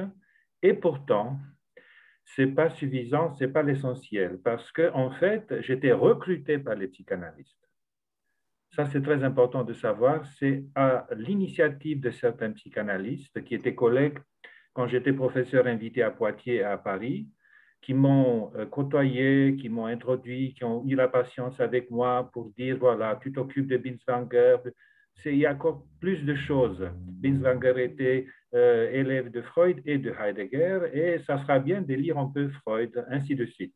Donc, euh, le problème se pose comment recruter euh, des futurs psychanalystes à l'université, parce que mon expérience, c'est qu'on peut introduire en expansion de la psychanalyse, mais on a euh, peu de chances ou beaucoup moins de chances pour arriver à convaincre quelqu'un de, de, faire un parcours en psychanalyse. Et donc, ça, c'est le devoir des psychanalystes d'avoir une endurance à la longue.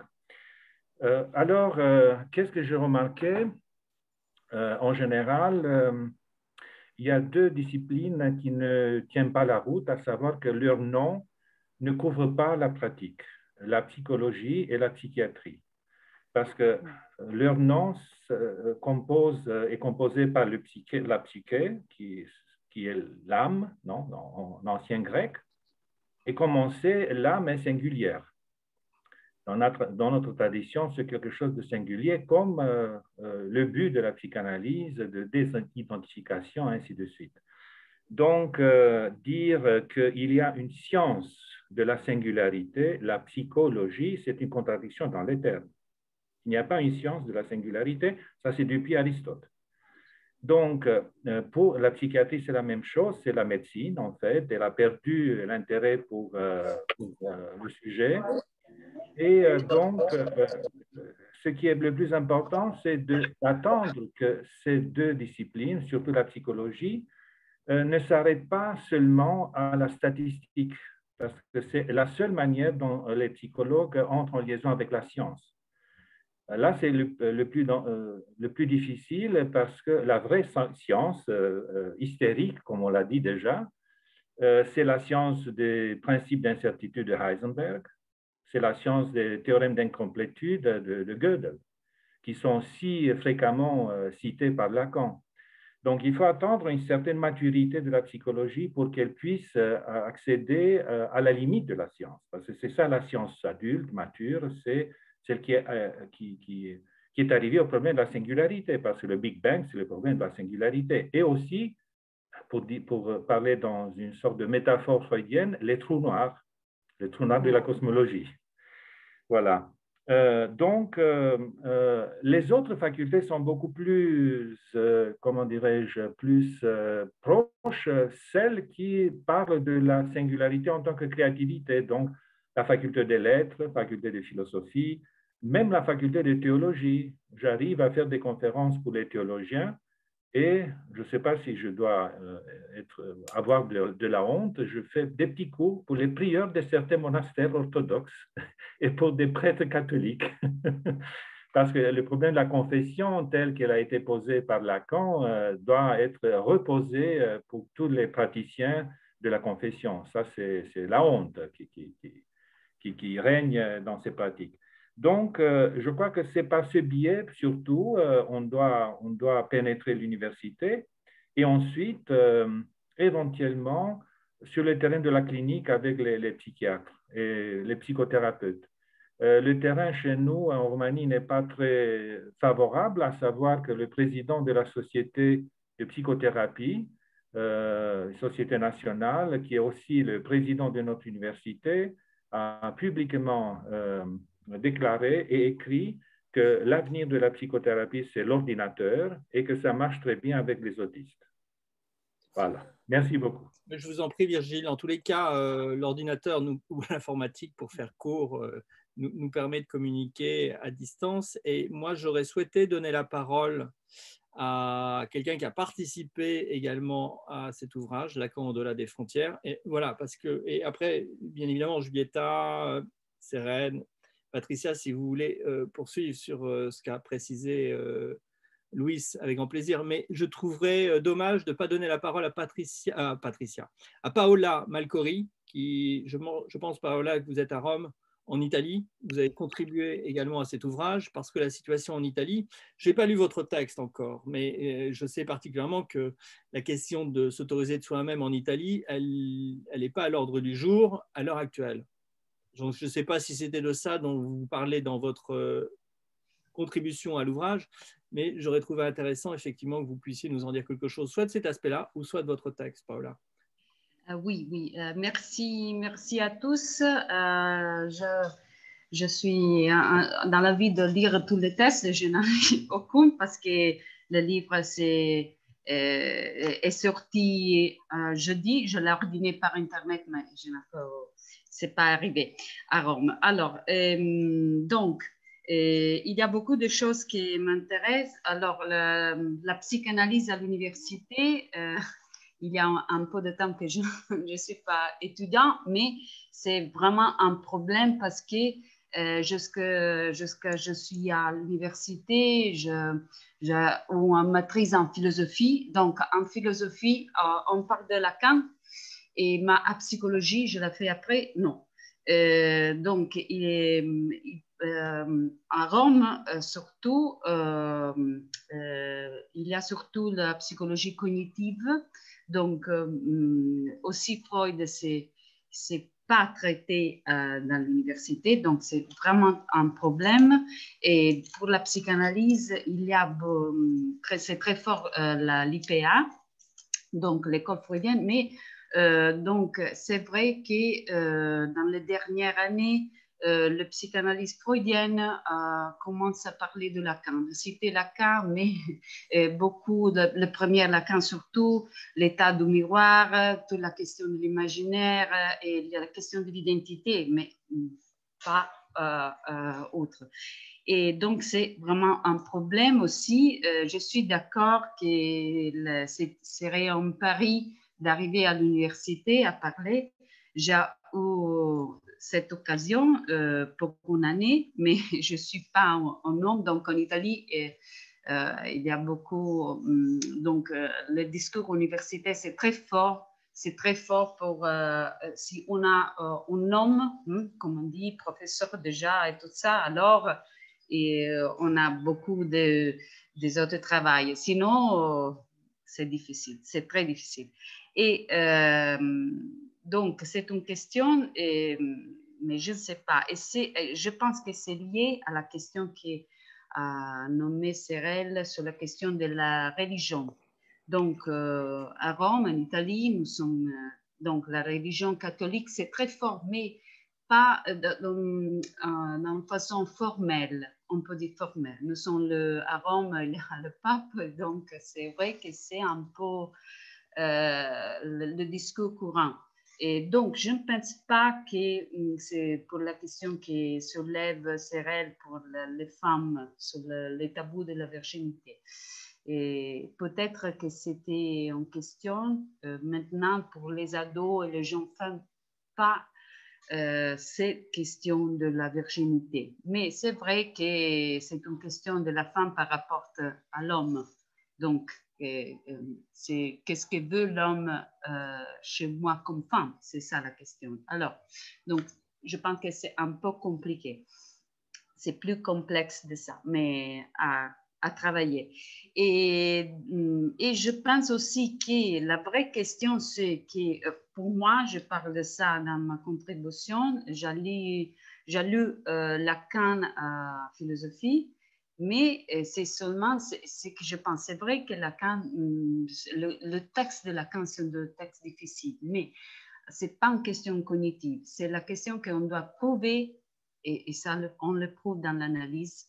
Donc, on doit traverser la, théorie dans la clinique, donc dans l'analyse. Donc, le pari, c'est vraiment comme euh, la transmission de la psychanalyse pour euh, prouver, pour de, je ne sais pas comment on dit, de, de commencer une analyse. Hein. donc, la vraie transmission, c'est ça. Et je travaille beaucoup avec les ados, de, de jeunes. Et donc, euh, aussi, c'est une question de, comment attraper les, les, gens, filles ou garçons, et pas seulement restant donc, les stéréotypes de l'analyse freudienne, c'est l'analyse mouette. Ça n'est pas possible avec euh, les ados, c'est pas possible de rester euh, ou avec un, deux interprétations. Et donc, je, pense que c'est une question de un pari de clinique euh, cas par cas on peut rendre et donc on, doit s'inventer quelque chose de nouveau pour pour, euh, pour la survivre de la, de la psychanalyse. En Italie, ce n'est pas facile encore. Merci Paola. Euh, on, a, on a une main levée. Rosa Escapa, vous avez une main levée, donc ouvrez votre micro, je vous mets en avant et, et comme ça tout le monde pourra vous percevoir. Oui, ça va? Ça va parfaitement bien, on vous entend bien, oui. D'accord, merci. Merci pour cette invitation Je vais essayer de m'exprimer en français. Je ne maîtrise pas le français, mais je vais essayer. Et euh, d'autre côté, mon connexion est, instable. Alors, je vais essayer de dire quelque chose. Vous nous, parlez, vous nous parlez depuis où? Pardon? Vous nous parlez depuis où? Je peux dire depuis où vous parlez. Amérique du Sud. OK. Où vous parlez? Je ne vous, je ne vous avais pas entendu. Ça va?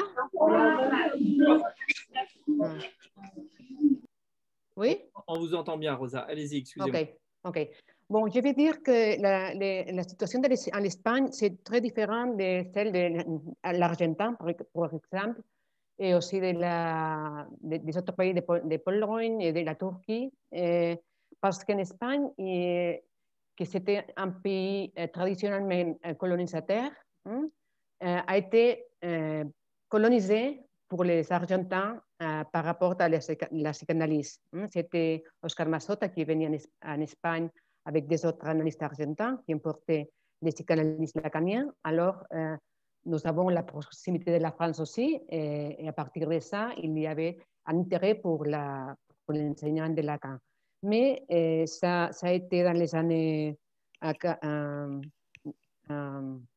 1980, 80, 80 Et, et la psychanalyse lacanienne entrait dans l'université et aussi dans les institutions euh, psychiatriques et cliniques. Mais euh, ça a été comme euh, un des coups. Non Il y a une montée de la psychanalyse dans, dans les institutions et l'université, mais ça a duré peu. C'est pour ça que j'ai pensé à ce que Juliette avait dit par rapport à cette inflation de la psychanalyse à l'université et avec la question sur l'avenir, hein, parce que nous avons fait l'expérience d'un grand plan B et après, c'est fini.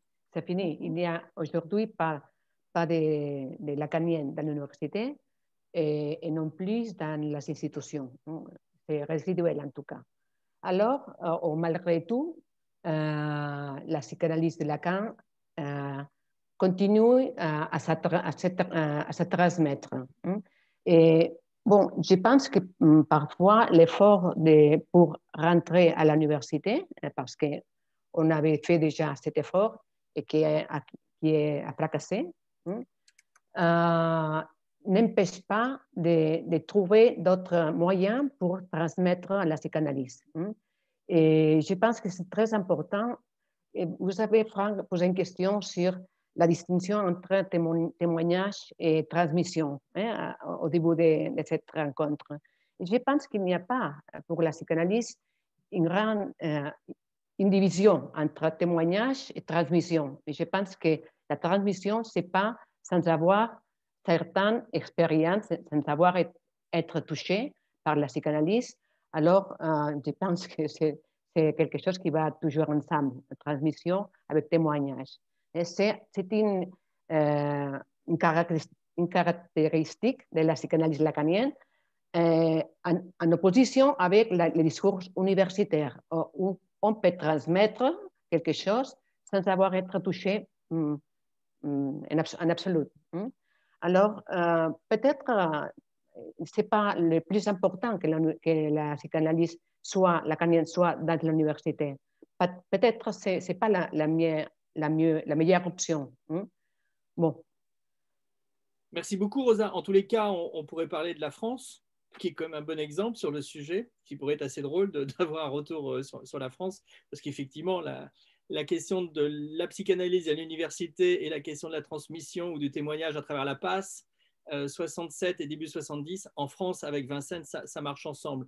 Mais il ne s'agit pas de, que je donne des réponses à la place des autres, mais plutôt de donner la parole à, à Julieta qui souhaite intervenir. Et on va doucement s'approcher de la fin, parce qu'il y a toujours une fin, en tout cas une fin d'analyse est possible, à 18h, heure de Paris.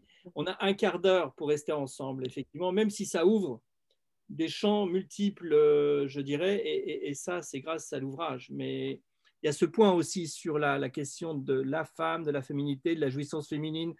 on, commence à ouvrir quelque chose, ça c'est sûr. Mais Julieta, c'est à vous. Bon, merci Patricia, Luis, Brigitte, Paola et, Rosa. Et, juste rester sur ce point. Et je pense euh, ce que disait Louis, c'est pour moi le plus important. Je pense qu'il ne faut pas se fasciner trop avec l'histoire de la psychanalyse à l'université parce que si, comme dit Virgile, cela ne, n'est même pas les champs, l'expérience personnelle de l'analyse, ça ne vaut pas la peine, vraiment. Et, et même si les champs commencent les analyses, mais ça ne dure pas longtemps non plus parce qu'on n'aura pas de, des opérateurs pour la psychanalyse, on n'aura pas d'analystes. Et disons, l'avenir de la psychanalyse, ça dépend qu'il y, aura, qu'il y ait de, analystes. Et pour ça, il faut mener les analyses jusqu'à la fin. Ça prend du temps. C'est, un peu un contresens de, de l'époque. La formation analytique est longue. La formation des analystes est une formation longue et pas garantie alors c'est pour ça que je, essayais d'attirer l'attention sur ce point. Et après, justement, pour répondre à, Patrice, il y a le rapport à la loi, le, rapport de transgression à la loi chez les Argentins, tu dis. Et moi, je ne suis pas sûre. Il me semble que c'est une histoire de rapport à la loi. Peut-être c'est un pays où les normes ne sont pas si claires comme en Europe, aux États-Unis. Et juste un exemple, on ne sait jamais combien notre monnaie nationale vaut. Alors, vous pouvez avoir une idée de comment se déroule une vie si on ne sait pas du tout combien, ça, vaut l'argent tous les jours. C'est une réalité, ça a sûrement de, des incidences sur la créativité, peut-être sur la, capacité de vivre dans un pays où les normes ne sont pas très claires. Mais je ne sais pas si c'est la transgression, parce que pour ça, il faudra voir les tabous, vraiment, parfois, on ne sait pas. Les normes changent tout le temps. Alors, il faut être créative. Si c'est là, euh, oui, je pense que peut-être il y a un, rapport à l'altérité qui est différent, un rapport à l'étranger. Et peut-être euh, c'est quelque chose qui est dans, dans, nos origines, parce que l'histoire de l'Argentine, c'est pas la même, l'histoire de la colonisation, c'est pas la même dans tous les pays de l'Amérique du Sud. Mais bon, c'est long. Je te remercie, Patricia, de, de ton, de ton question. Et je reste sur, sur, ce point de la colonisation. Et Rosa dit, mais bon, les Argentins nous sont colonisés par, la psychanalyse.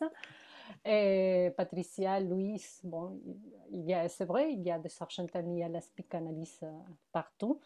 Et alors, on ne parle pas souvent de, mouvements de colonisation et d'impérialisme euh, dans la transmission de la psychanalyse. Peut-être c'est une question à se poser. Merci. Julieta, ça me permet tout de suite de repartir en arrière, non pas dans un temps logique, mais il y a quand même trois intervenantes. Et, donc, ça sera un peu votre, euh, les derniers mots, mais pas les derniers mots de la psychanalyse. Sérène, est-ce que vous pouvez nous dire quelque chose? Voilà.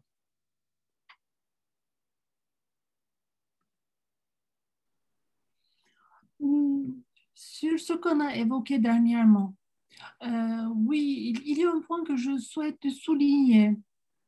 Euh, même si euh, il y a un certain nombre de, disons qu'il y a un certain nombre d'enseignements dans, les universités, ce qui est essentiel, c'est de faire son propre analyse. cela me me paraît essentiel et, c'est quelque chose que euh, j'ai un petit peu raté de, souligner, je pense. Euh, ici en Turquie, pour nous, pour le moment, ce que nous cherchons, c'est un petit peu euh, d'attirer l'attention à la psychanalyse, à la psychanalyse lacanienne, introduire certain nombre de concepts et de montrer surtout que c'est une clinique très, très efficace, très vivant, qui existe dans le monde même dans certains domaines, plus que d'autres écoles de psychanalyse. Mais euh, finalement, euh, pour pratiquer euh, cette théorie avec les, patients, il faut faire son propre analyse, enfin. mais hum, ce qu'on a dit sur le succès en Brésil m'a beaucoup frappé. Oui, même s'il y a un succès, même s'il y a comme nous, maintenant c'est quelque chose de un peu nouveau, euh, la, question persiste. Quelle sera la suite euh, de, ce pratique? Comment la psychanalyse va continuer? Je pense qu'il y aura sans doute la psychanalyse et existera toujours, mais ça va dépendre de beaucoup de choses, beaucoup de conditions. Et ça va demander beaucoup d'efforts, toujours, je pense. Anna, est-ce que ça sera trop vous demander comme effort pour euh, ce chemin inverse hein, Vous l'avez compris, donc euh, euh, par rapport à l'ordre d'intervention et par rapport au, dialogue ouvert. Anna, est-ce que vous souhaitez nous dire quelque chose justement par rapport à ces deux heures ah oui, écoutez, c'était fascinant. Donc, merci encore une fois pour cette rencontre qui, qui m'a permis aussi de voir la perspective d'autres analystes euh, dans des pays différents sur cette question qui m'intéresse euh, s'agissant de la présence de la psychanalyse à l'université. Il me semble que mon approche personnelle est, très proche de l'approche de Rosa Escapa, qu'il nous a présenté euh, dernièrement. Mais j'aimerais bien revenir aussi aux questions qui ont été posées. Donc, pour, euh, pour faire un joint entre ce qu'a dit Jeren, euh, Julieta et la question de Virgile Thomas sur, la, sur cette question d'être clinicien et la relation entre les psychiatres et la psychothérapie. Donc, ni avec euh, les uns ni avec les autres, c'est pas facile de coopérer en Pologne. Et il me semble, euh, j'aimerais bien remercier Julieta à nous rappeler cette citation de Lacan, qu'il euh, y a quelque chose dans la psychanalyse lacanienne qui montre quand même que euh, l'effet thérapeutique vient de sur quoi Donc, que le psychanalyste, il n'est pas tout à fait un clinicien. Et il me semble que c'est ça qui gêne, c'est ça qui gêne nos, amis psychothérapeutes de s'intéresser à la psychanalyse lacanienne, même s'ils participent euh, des fois dans nos rencontres cliniques et ils apprécient beaucoup les types des interventions de la part des analystes lacaniens par rapport aux interventions possibles psychothérapeutiques. Mais il reste, il, il reste le but, c'est-à-dire que le but principal de l'analyse, c'est d'analyser et pas de, pas de guérir, que la guérison vient de, de sur quoi. Donc, il me semble que c'est cette différence qui fait un peu que ce n'est pas euh, facile. Et euh, bien sûr, chez nous, pour revenir aussi à ce que Virgile disait, euh, la psychanalyse, elle est présente à l'université dans le département de philosophie. Et c'est grâce à ce même Slavoj Žižek dont Jeren nous a déjà parlé. Par contre, il me semble que même si c'est très répandu à la faculté de la philosophie, chez moi aussi, il y a des patients, le jeune philosophe, qui, qui viennent, mais il y a très peu de gens qui pensent euh, euh, de Lacan euh, et de la psychanalyse lacanienne comme d'une possibilité d'une expérience propre. C'est une théorie, c'est une théorie qu'il faut connaître si on représente un certain niveau intellectuel. Et si on se dit philosophe, c'est plutôt ça qu'une envie de régler les, problèmes personnels avec cette méthode-là, parmi les jeunes philosophes, il me semble. Et la dernière chose, pour revenir un peu à la question posée par Patricia Gerovici sur le, sur le rapport à l'altérité, à l'altérité, je me suis rendu compte que dans les programmes des départements de psychologie, privés et publics, il n'y a vraiment rien qui parle de la femme. Vraiment, c'est très marrant, mais euh, dans les programmes récents, euh, on parle de l'altérité dans le sens de non-binarité. Je ne sais pas euh, si ça se dit comme ça en français. Donc, c'est ça, l'altérité qui est vraiment à la mode des départements de psychologie. Et là, il y a un problème avec la psychanalyse lacanienne car elle est comprise comme une orientation qui, qui va vers les binaires donc avec laquelle on ne peut pas discuter la question de, euh, de ce qui est hors cet euh, homme-femme. Euh, voilà, donc ce sont, cher Franck, mes remarques pour ces deux heures. Il est bien évident que tout ça est non limitatif et recoupe des subjectivités contemporaines euh, qui ont des degrés d'implication ou de colonisation, employant ce mot de provocation à l'échelle planétaire, différentes en fonction des histoires. Mais euh, il y a eu également il y a des échanges dans la boîte de chat euh, sur des spécificités. Donc je ne vais, pas les lire, ça sera tant pis pour l'enregistrement, mais je, je, le précise pour les gens qui nous écouteront aussi a posteriori.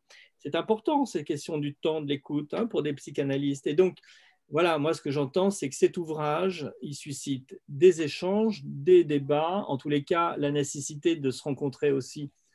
Bah, mais si c'est par écran, c'est très bien, voilà. Et si c'est autrement, c'est très bien également. Et alors, ce n'était pas du tout prévu euh, de cette manière-là, mais j'ai proposé à Luc d'introduire brièvement, alors qu'il a été aussi un des auteurs de l'ouvrage, et je vais lui proposer de conclure brièvement, alors qu'il a été aussi un auteur de l'ouvrage. Et en plus, euh, il, a, il commençait un échange, je dirais, sur, par écrit dans la boîte de chat. Donc, tout ça, bien évidemment, est très frustrant, mais euh, c'est plutôt salutaire s'il y a de la frustration. En tous les cas, Luc, est-ce que vous souhaitez nous dire quelque chose avant que, malheureusement, les deux heures de cet échange ne se clôturent?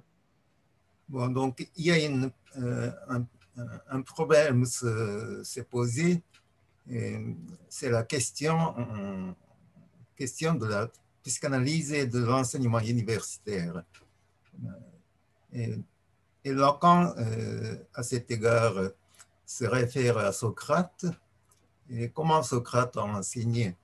Et il, a, il a enseigné en disant que je ne sais rien. Je ne sais rien. Et, donc, il a demandé à Diotima. Et Diotima vient et il répond mais en manière, de, euh, en manière prophétique. Donc, euh, à l'époque de Freud, peut-être, quand Freud a dit euh, le moi n'est pas au centre de l'homme, ça a des effets hystérisation par rapport aux sciences préexistantes. Mais maintenant, euh, euh, l'inconscient est euh, en quelque sorte banalisé. donc, dans, dans, une université, si on dit je, sais la vérité et je dis la vérité de la psychanalyse, ça n'est plus